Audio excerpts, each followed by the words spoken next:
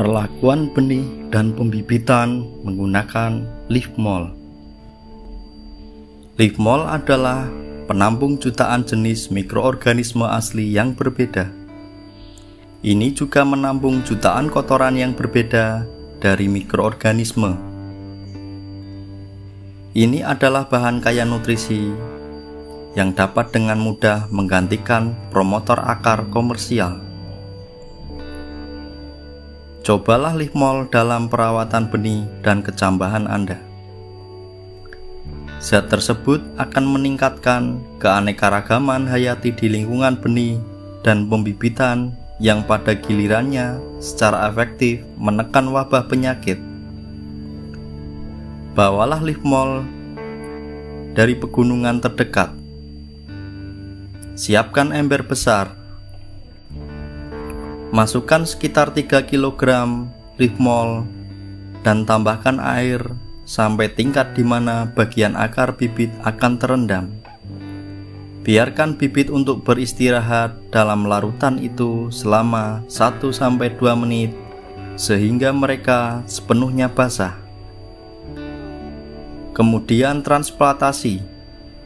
Jika Anda memiliki banyak bibit untuk dirawat, galilah tanah yang luas tutup dengan plastik, beri air, dan masukkan ke dalam leaf mold. Untuk benih, masukkan ke dalam kantong berpori dan biarkan terendam selama 30 menit sebelum ditanam. Menurut Jadam, sariawan dan kutu air pada dasarnya sama pestisida kimia tidak dapat mengendalikan kanker. Obat jarang menyembuhkan penyakit kaki atlet. Namun, ketika Anda menanganinya dengan keragaman mikroba, organisme penyebab penyakit akan dinetralisir. Itulah sebabnya perawatan benih dan pembibitan sederhana ini mendorong penyelesaian akar dan mencegah penyakit pada saat bersamaan. Jadam tidak bisa cukup menekankan ini. Keseimbangan dan keragaman mikroba adalah kunci kesehatan tanah. Keseimbangan dan keragaman nutrisi adalah kunci pertumbuhan tanaman.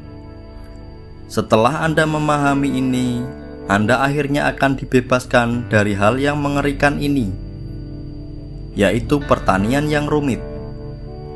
Pertanian jadam yang sangat murah itu mudah.